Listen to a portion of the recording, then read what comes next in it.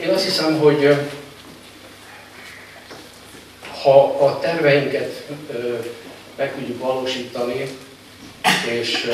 tovább tudunk lépni több szempontból is, és nem elsősorban az anyagiakra gondolok, de a, a, a szervező munkánkat, a, a, az adminisztrációnkat és minden egyebet gondtalanabbá tudjuk tenni, akkor még szebb eredményekre van kilátás.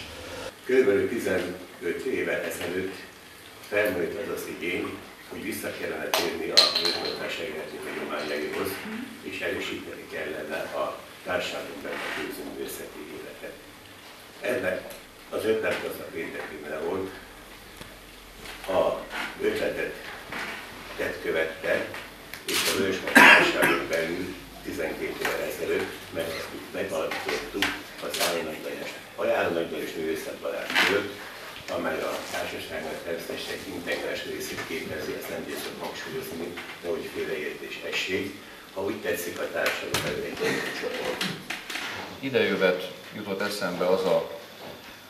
25 évvel ezelőtt, egészen pontosan két napja van ennek 25 éve, ugye, hogy a Vörös Társaság megalakult, új, új alakult pontosabban szóval, de eszembe jut az a ködös, nyírkos, november végi szombat délután, amikor itt néhány méter odébb a Perikán teremben ezre az eseményre sor került, és hogy a elnök úr említette is, hát az, az sokan voltak ott azok is, akik már sajnos nem lehetnek közöttünk, többek között Köncsel Imre, aki az első díszelnöke volt a Vörös Társaságnak, vagy éppen Jábor Otto, aki a Vörös Társaság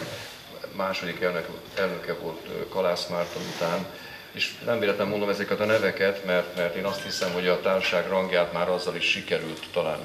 kivívnunk, vagy megalapoznunk, hogy ilyen jeles irodalmárok vállaltak fontos szerepet.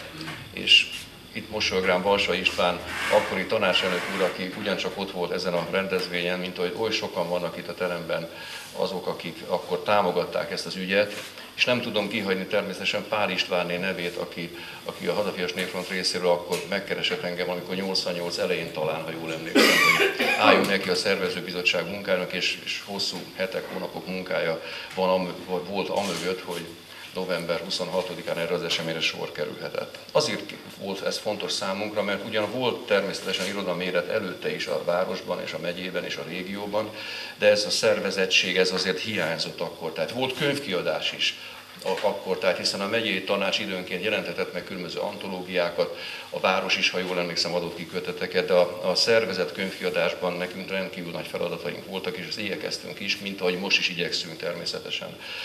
megvalósítani. A emlékek ilyenkor ugye gyakran tolulnak fel az ember agyában, és, és most eszembe jut hirtelenjében például egy 1991-es német László emlékülés, amit a Városházán sikerült rendeznünk, és az, az jut ezzel kapcsolatban eszembe, hogy a nagyon rangos előadók mellett itt volt német László, lánya német mag, és, és azt mondja nekem a, a szünetben, hogy tudja is, milyen jó polgármesterük van. Hát mondom, tudom, mert ugye ismertük személyesen már. Ilyen apró emlékek azok azt hiszem, amelyek igazából fontosak, amelyet itt a statisztikát mondja az ember, vagy éppen felsorolja a különböző dolgokat. Hát a legfontosabb feladat meg azt tartottuk, tehát, hogy szervezzük az irodalmi életet.